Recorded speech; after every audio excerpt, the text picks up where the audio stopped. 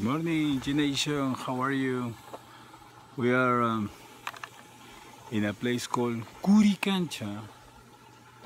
And it's very funny because in Cusco we have the Coricancha, but the Inca. No, this is a reservation, a biological reservation uh, to see wildlife and trees. Beautiful day. And beautiful country to visit.